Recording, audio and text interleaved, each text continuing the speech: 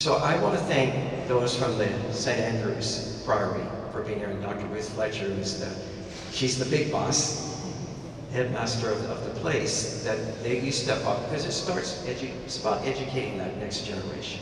And sometimes the younger generation actually educates the older generation.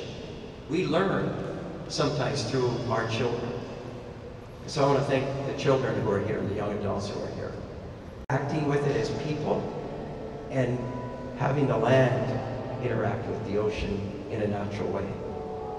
And I'm, I think this exhibit is much about that. Know, I want to thank our federal partners with NOAA, a great organization. We got to, we got, guys, we got to fight for NOAA. We have people in Washington, D.C. that doesn't think it's so relevant anymore. Those are the same people who don't believe that our climate is changing. But ask the guys in Kauai who just saw 50 inches of rain in 24 hours whether that's a common occurrence. Or the nine inches we got out in Hawaii not long ago. So NOAA is there fighting a good cause and we need to support him on the federal level. And then provide at least a little something. So let's give them a round of applause. And for the final acknowledgement, a very, very, very, very big mahalo to Aaron Thurston, Russ Murakami, Alex Otto, Chef.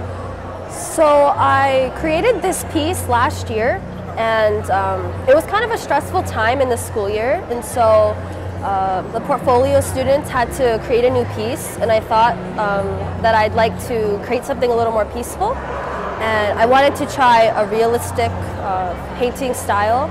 So I found some pictures of koi to get some inspiration. And then I ended up choosing one photo and trying to uh, trying to copy it a little bit, but then add my own style. And then it kind of turned into a painting of its own. It didn't look like the photo anymore. And um, I found it was very stress relieving because, um, especially the water, because it, uh, it sways a lot and it's very flowy. So I enjoyed doing some really delicate, uh, wispy brush strokes. So that was really fun to do. And also doing Painting the koi fish, especially the detailed features, I find that um, painting detailed, realistic pieces are my favorite type. I like detailed work, so I really enjoyed that.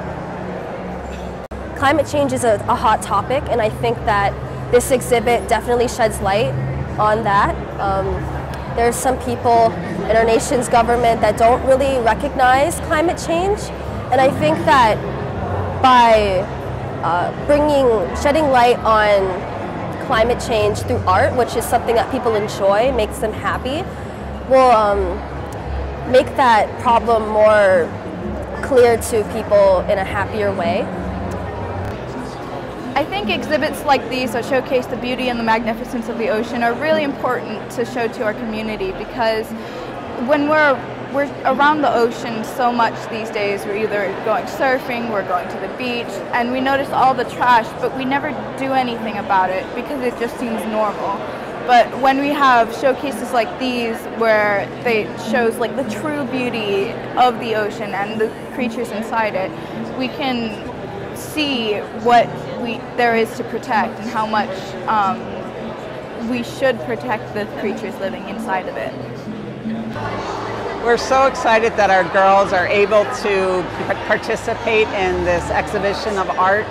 It's art about the ocean. We want them to love the ocean. We want them to know all about it because we are going to be faced with climate change in our future and the policies that we build will be based on the next generation of people and we want them to be well educated so our children and our children's children will always have beautiful natural environments to uh, be exposed to. Science is wonderful. We know a lot about science. However, art really appeals to people's emotions and they love uh, beauty.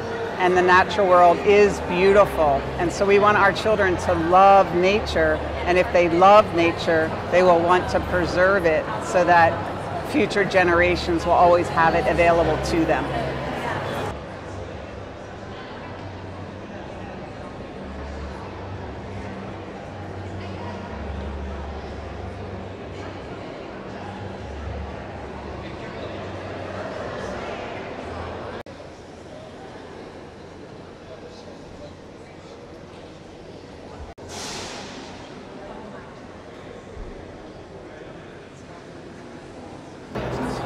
I think exhibits like these that showcase the beauty and the magnificence of the ocean are really important to show to our community because when we're we're around the ocean so much these days. We're either going surfing, we're going to the beach, and we notice all the trash, but we never do anything about it because it just seems normal. But when we have showcases like these where they shows like the true beauty of the ocean and the creatures inside it, we can see what we there is to protect and how much um, we should protect the creatures living inside of it.